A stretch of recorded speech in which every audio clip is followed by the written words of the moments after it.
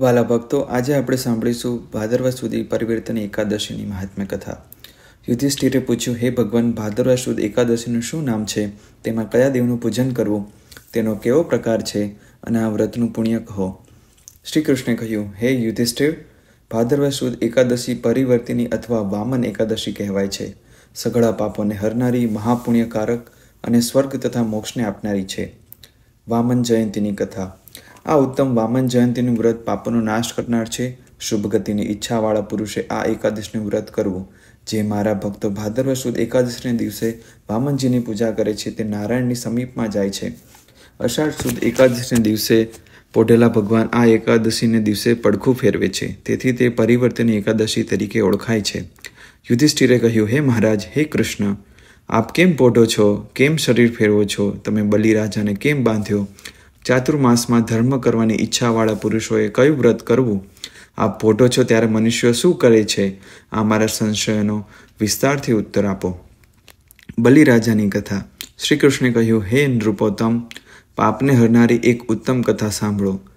પૂર્વે ત્રેત્રાયુગમાં બલિ નામનો દૈત્ય હતો. તે મારો પરમ ભક્ત હોવાને કારણે નિત્ય મારી તેમજ બ્રાહ્મણોની પૂજા કરતો અને યજ્ઞો કરવામાં નિરંતર તત્પર રહેતો હતો.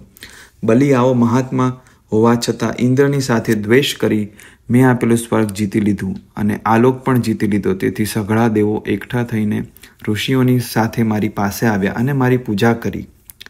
તેથી મેં પાંચમો વામન અવતાર ધારણ કર્યો.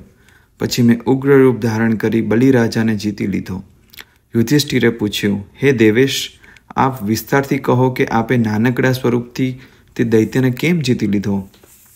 શ્રી કૃષ્ણે કહ્યું મેં પ્રથમ યુક્તિપૂર્વક બટુકનું રૂપ ધારણ કરીને બલિની પાસે માગ્યું કે, હે રાજન, તું મને ત્રણ પગલાં જેટલી પૃથ્વી આપ.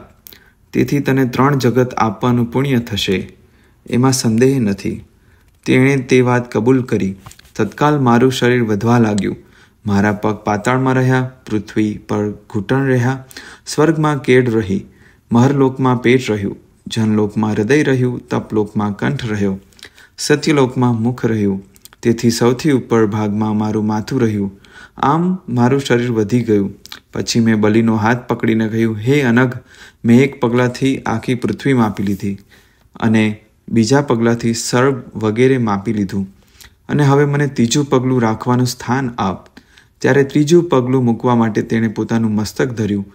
એટલે તેની ઉપર પગ મૂકી મારા ભક્ત બલિને મેં પાતાળમાં ઉતારી દીધો. છતાં તેણે પોતાની મર્યાદા લોપી નહીં. આથી હું પ્રસન્ન થયો. પછી મેં મહાભાગ્યશાળી બલિને કહ્યું, હે માનદ, હે બલિરાજા, હું નિરંતર તારી પાસે રહીશ.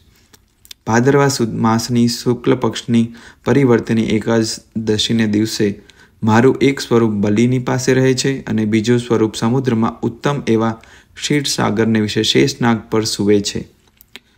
હે રાજન, આ એકાદશી પવિત્ર, મહાપુણ્યકારક અને પાપનો નાશ કરનારી છે. માટે તે દિવસે પ્રયત્નપૂર્વક અવશ્ય વ્રત કરવું જોઈએ. આ એકાદશીને દિવસે ત્રણ લોકના પિતામહ નારાયણ પોતાનું શરીર ફેરવે છે. માટે તે દિવસે તેમનું પૂજન કરવું. આ એકાદશીને દિવસે દહીંમાં ચોખા નાખીને તેનું દાન આપવાથી અને રાતે જાગરણ કરવાથી મોક્ષ મળે છે.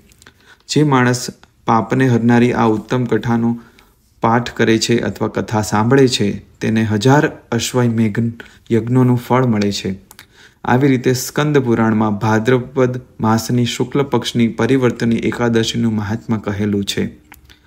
ઇતિ શ્રી સ્કંદ પુરાણે શ્રી કૃષ્ણ યુધિષ્ઠિર સંવાદે ભાદ્રપદ શુક્લેકાદશ્યામ પરિવર્તની નામના મહાત્મ્યમ સંપૂર્ણ જો આપને આ વીડિયો પસંદ આવ્યો હોય તો લાઈક કરજો અને શેર કરજો. આ ચેનલ આપ પ્રથમ વખત જોઈ રહ્યા છો તો જરૂરથી સબસ્ક્રાઈબ કરી લેજો. ધન્યવાદ. અમારા ભાવથી સૌને જય શ્રી સ્વામિનારાયણ.